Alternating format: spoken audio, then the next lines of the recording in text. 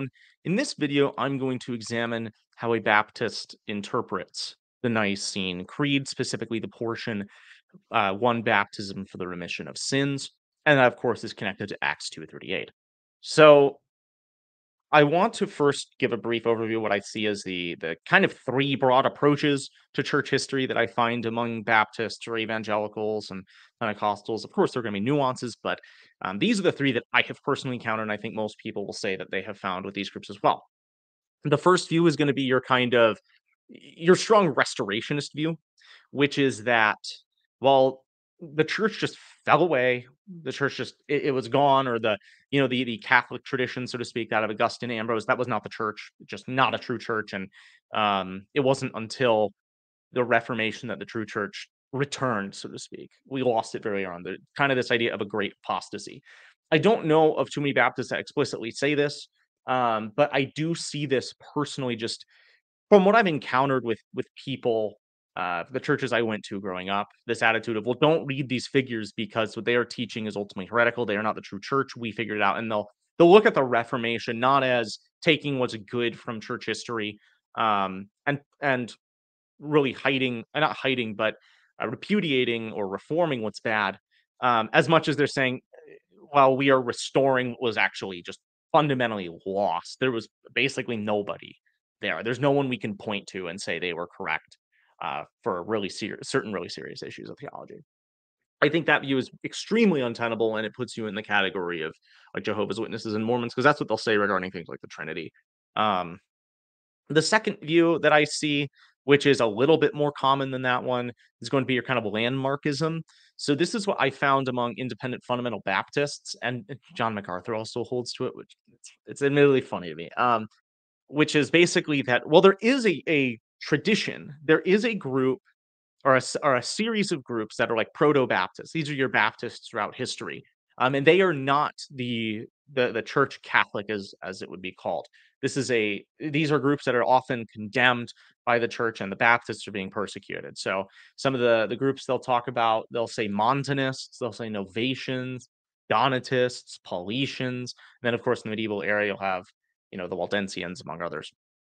I think this is laughably bad um, because uh, if you actually see what the condemnations are of the Novatians, Donatists, and so on, uh, a lot of that stuff is just straight heretical. And especially, I just laugh because with the Donatists, it's like the entire idea the Donatists have is actually quite contrary to Baptists. I have a hard time finding all of these groups or any of these groups really and saying, yes, you would fit into a modern Baptist church. It's just not the case in my mind at all.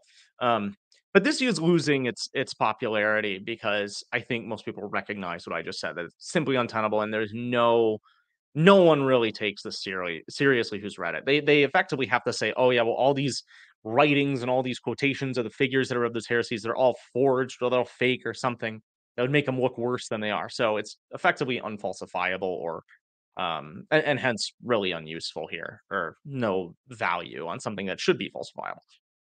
The third view is the one that I'm seeing more so in, in, in, a good way, which is that there's a real attempt to reconcile Baptist theology or evangelical theology with um, church history. There has been some really good stuff that I've seen from them. I've seen really good stuff from the Credo guys um, who've been putting things out on, on divine simplicity and classical theism. Now, I don't necessarily think they have the best interpretations of somebody like Scotus. I think it's really the scholarship there is shoddy, and I've heard mixed things about them and some things, but I certainly prefer them to somebody like James White um, or your average evangelical that I found where they kind of hold to like mono polytheism, as some have called it. Um, when I was in California, I went to a, an evangelical church, for example, where I'm like 95% sure their pastor was an open theist. Like I, am like 95% sure. And he's a relatively big name, I should say. Um, maybe he's changed his views since. And I, I haven't, of course, gone to the church for like five years as I'm recording this. But um, suffice it to say that in light of this there is a real attempt among Baptists that I have found to say, all right, how are our views um, found? Like, how, how do we look at our views and, and does it really match what the early church says? Can we hold to our views while saying that we are a continuation of the beliefs of, um, say, even you know those fathers before the Nicene Creed and uh, hopefully after as well? And today I want to look at one of those examples specifically with the Nicene Creed. So there's been a discussion recently. I mean, it always it always pops up again, but I thought this thread was especially worth examining um, as to how exactly a Baptist could interpret the passage, the, the the phrase "one baptism for the remission of sins," because I do believe that pretty much the rest of the Nicene Creed they could affirm. A lot of Baptists again are doing good stuff on Trinitarian theology, um, and I, I think the the one holy Catholic Apostolic Church is or the one well, you know the you know the passage in there. I don't think that's legitimately a problem for like a Baptist because the word Catholic there would just mean universal. I think that's a fine thing to take, and putting modern ecclesiology, like trying trying to fit ancient ecclesiology into modern stuff is really difficult. Um, but that's a topic for another day. The the passage that's especially of, of relevance here is this: um, I believe in one baptism for the remission of sins. And so, what I'm going to look at today is this thread that I found um, that popped up in my feed about um, how a Baptist could take that phrase, the Nicene Creed, how they could interpret it and and say it publicly and say this in a positive way. Um, and I think it ultimately does not succeed, frankly. So um, I'm going to pull that up and just briefly read it because it's going to touch touch on issues of um, of his history, but also just exegesis in general. Okay, so I'll read it out in case this is really small for you guys. I, I can try to zoom in just a little bit more.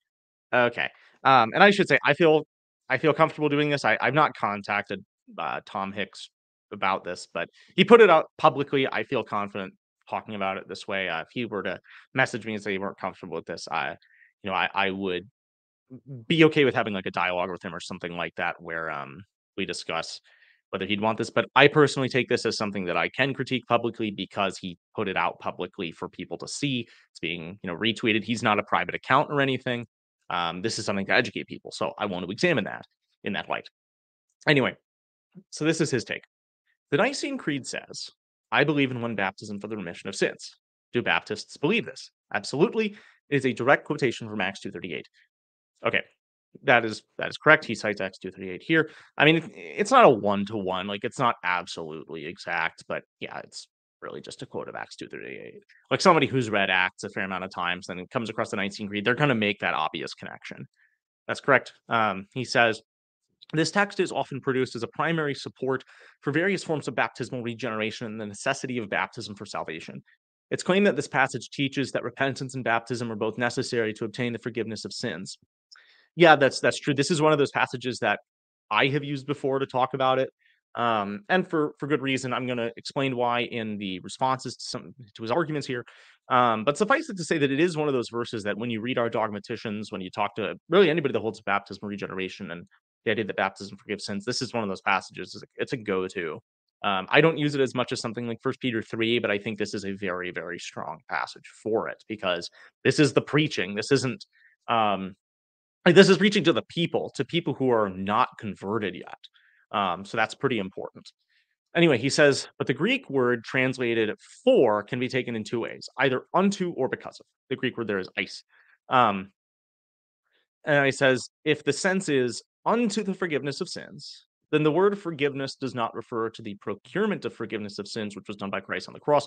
Rather, it refers to the subjective termination of forgiveness upon the soul of the believer who repents and is baptized. Okay. So, yeah, this is broadly I mean, it's broadly correct. Maybe I wouldn't use fully this language as though it's like, um, does not refer to the pure um, procurement of forgiveness of sins, which is done by Christ on the cross. I would say that it obviously is connected, but I think the language here is just a bit ambiguous. I don't think he's accusing us of saying something like, "Oh, Christ is not important for us here." Um, but what I, I do want to address briefly that eh, there are people who will say things like, "Well, baptism doesn't save, Jesus saves." Well, okay, well, you can expand that to say oh, baptism or faith doesn't save, Jesus saved. And you have a problem here. This is where we get into the idea of grounding, and you have things like instrumental and um, or approximate remote causality in, in, terms of the order of efficiency and all that. So, uh, in the Lutheran view, and pretty much every view that I know of, baptism it, the reason it saves is not like oh christ did this thing over here and then baptism does this other thing like it, it's its own ground so to speak as much as it's well it has its grounding in light of the work that christ um, performed in his life. And um, that's not to say it in the sense of like every single view is absolutely the same on it because obviously roman catholics and lutherans are going to disagree. Um, there are nuances in the various views as to how baptism is applied well why is it Why does it work on infants where, you know, these the uh, ex opere operato view of Rome versus our view where faith, where infants have faith? Not that Rome will deny that per se, um, but it's going to look different. I recognize that. Um, and sorry for the flashing like message. I don't know why it's doing that. My apologies here. Um, point is though, broadly that is that is the view of somebody who's going to affirm something like baptismal regeneration um, and he's going to contrast that so further commenting on this verse john gill says that the baptism of believers quote their faith might be led to christ who suffered and died for their sins who left them buried in the grave and who rose again for the justification from them. And now he says but the word for can be translated because. So the word eis can be translated because. If that's the meaning then peter was telling these men who'd already been convicted by the message of the gospel to repent publicly of participating in the murder of Jesus as the Christ, and to accept public baptism in his name because their sins had already been forgiven. For these men, baptism was necessarily public proof of their repentance and forgiveness of sins. Okay, so I'm going to stop sharing here. What he's saying is that this alternate view, which is the alternate view the Baptist take that I found, is that the word for there, the word eis in the Greek, um, means, well, you're baptized because of the, the remission of sins.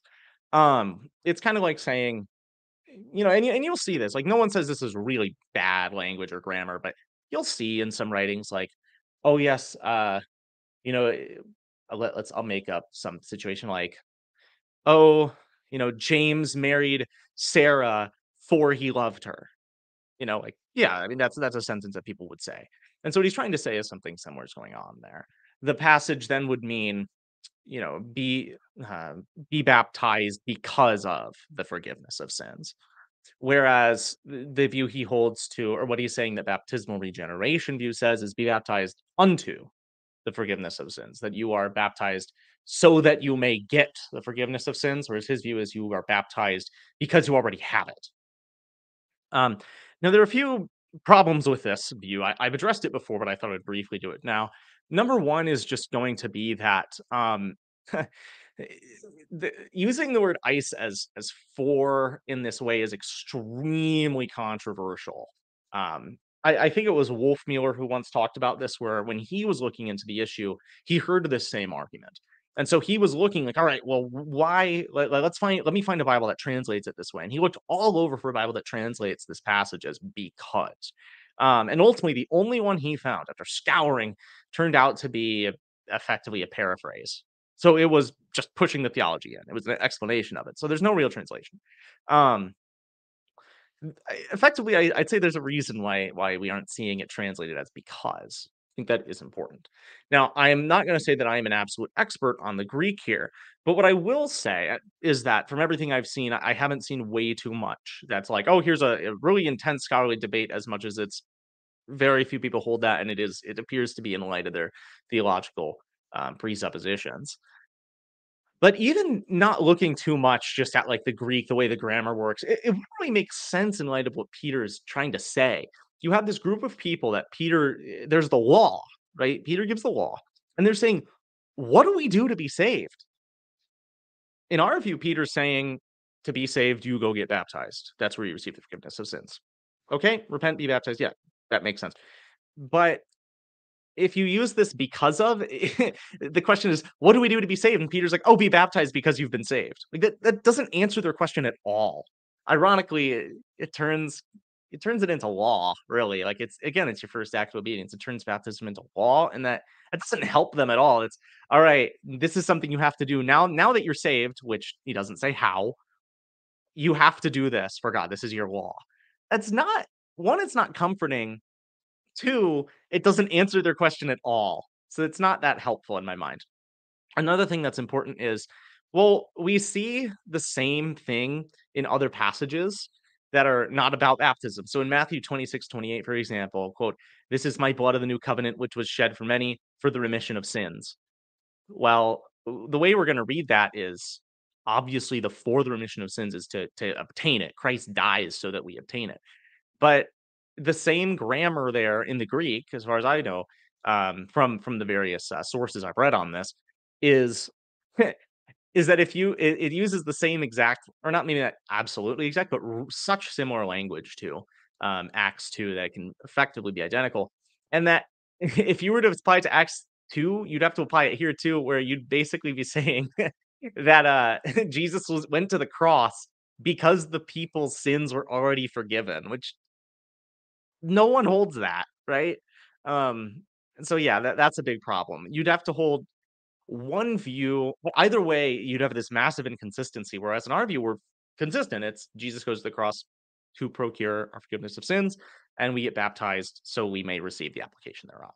Whereas on their view, it's well, one time it happens to procure it, and another time it happens because of it. And the grammar is so similar that in this one case, it's just completely different, really for no reason other than the theological motivations.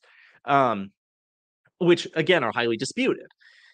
And this is um what I'm trying to get at here overall is just because something can be translated in a way like, oh yeah, you know, I can do it that way, it doesn't mean you should. It doesn't mean it's valid or, or as good. The way it's being portrayed by a lot of Baptists that I've encountered is, well, it can just equally it's equally valid to to translate that way. It makes sense of the text. So it's it is compatible with our view. But that's just not true at all. It's simply not the case that, yeah, this passage is a great way to interpret it, or, or a great way to interpret the passages by translating it that way. There's a reason translators don't do it that way. That would take away the ambiguity for one.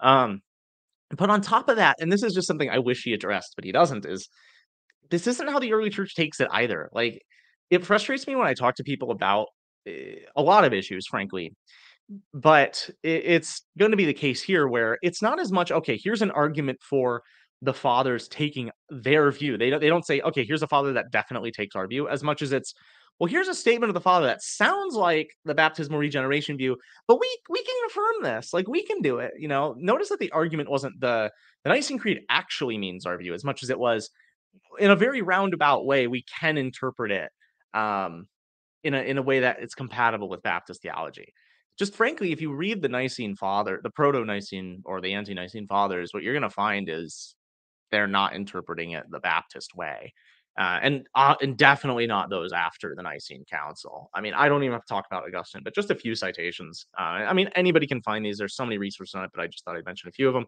regarding this. Um, so from uh, fragment 34 of Irenaeus's fragments, we have quote, and, he, and dipped himself, says the scripture, seven times in Jordan. It was not for nothing that Naaman of old, when suffering from leprosy, was purified upon being baptized, but it served as an indication for us. For as we are lepers in sin, we are made clean by the means of sacred water and the invocation of the Lord from our old transgressions, being spiritually regeneration, regenerated as newborn babes, even as the Lord has declared. Except a man be born again through water and the Spirit, he shall not enter into the kingdom of heaven. He's citing John 3 5 there. Um, we also have Justin Martyr's first apology, quote, as many as many as are persuaded and believe what we Christian teach and say is true and undertake to be able to live accordingly, um, and so on. Talking about regeneration, are brought to by us where there is water and are regenerated in the same manner in which we, uh, which we ourselves regenerated or we were regenerated. From the name of God, the Father, and the Lord of the universe, and of our Savior Jesus Christ, and of the Holy Spirit, they then receive the washing of water. For Christ also said, Except you be born again, you shall not enter into the kingdom of heaven. Okay.